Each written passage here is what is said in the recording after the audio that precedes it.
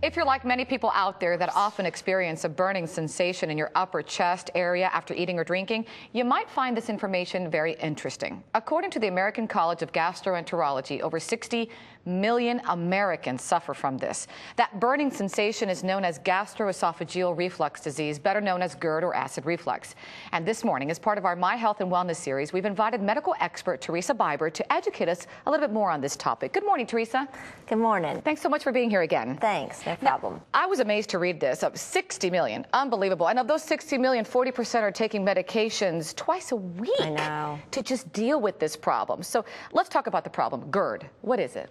Well, GERD simply refers to gastroesophageal reflux. Reflux simply means the return of something. So you're returning the digestive juices, those acids that are breaking down the food in your stomach, are returning back up into the esophagus, thereby refluxing up.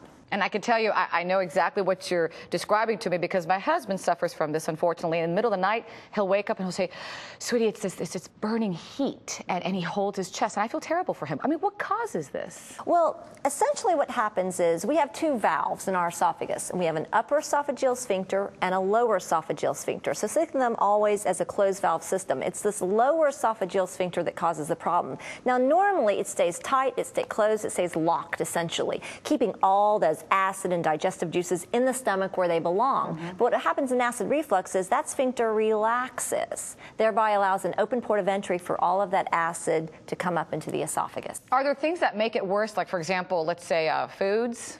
Absolutely. Foods are probably one of the bigger causes of it. Uh, spicy foods, fried and fatty foods, eating any kind of a large meal uh, will cause it to happen.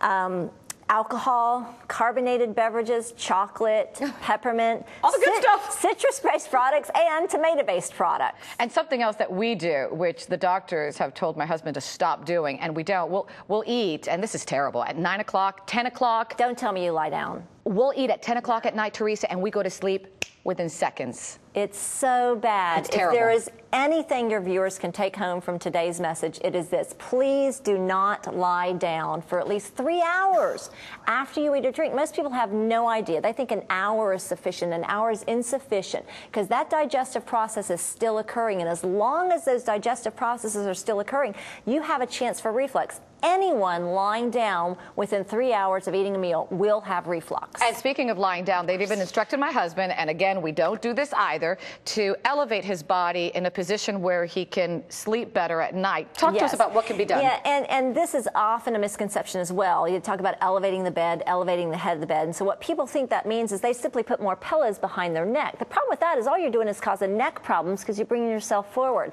What I want people to think about is you should, if you lay flat like this, what you want to do is you want to be at a slight angle, say 30 to 45 degrees. So you need something firm underneath your back. What you're trying to do is change the relationship between your throat and your stomach, thereby allowing gravity to keep those digestive juices down. So if you don't have some sort of a firm support, either through a bed wedge that you can buy at a medical supply store or by actually elevating the actual head of the bed up, you're probably not solving the problem. And something I didn't know about this problem is the fact that more serious problems can occur after you're diagnosed with GERD.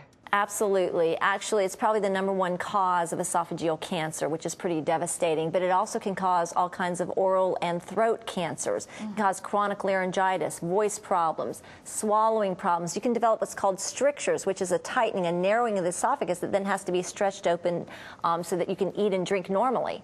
Now, is this age related? A lot of people sometimes wonder. Well, you can. it, it is often uh, occurs in older people, but I have it, and your husband has it, and we're obviously not that old. And even kids have it. and this. babies have it and children have it, so it's pretty non-age discriminatory. I even sometimes, and you know, I don't think I have it. You probably will say I do, but I'll go once in a while. Uh, that's kind of a classic sign, or a little bit of coughing after you're yes. eating or drinking. That's a classic sign that you are refluxing up. So you may not have reflux disease per se, meaning it's chronic, but you may be refluxing at that period in time. So when should someone like myself or someone out there know that, hey, I got to go get medical treatment for this? When you're experiencing those symptoms, say more than twice a week and for any extended period of time, say for a month or more, you really should be seeking medical advice because it's a very serious condition. If you don't treat it appropriately, it can cause some pretty serious damage. Teresa, thank you so much. You're welcome. Great information, great advice. Glad to be here. And for more information, you should just go to thebalancingact.com slash acid reflux and learn more about this.